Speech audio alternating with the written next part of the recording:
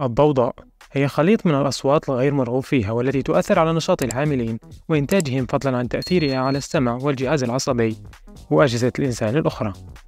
فأي ظاهرة صوتية غير مرغوب بها بصرف النظر عن طبيعتها وشدتها يطلق عليها مسمى الضوضاء. وتعتبر الضوضاء الزائدة مصدرا للإزعاج البيئي الذي يعرض صحة الإنسان للخطر وهو ما تمت تسميته بالتلوث السمعي. يمكن أن تنجم الضوضاء عن المركبات مثل السيارات والطائرات والقطارات ومكبرات الصوت ومولدات الكهرباء. أضرار الضوضاء. أولا الإيذاء بجسم الإنسان. يسبب الصوت المرتفع والمستمر في فقدان المؤقت أو الدائم للسمع وزيادة ضغط الدم والتشويش في نبض القلب وزيادة الإدرينالين وتشويش الأداء السليم من وظيفة الكليتين والتعب. ثانيا الضرر النفسية الإنسان تثير الضجاج الشعور بالخوف والضغط على الأعصاب. والقدرة على التركيز بالأفكار والعمل والتعلم.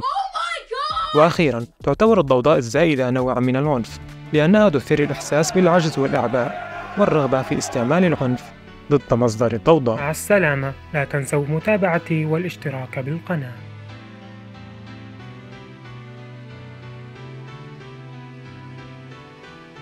وفقا للتقاليد أو حسب التقاليد. أن أي معلومات تتبع لا تعرف إلا من خلال التقليد الشفهي.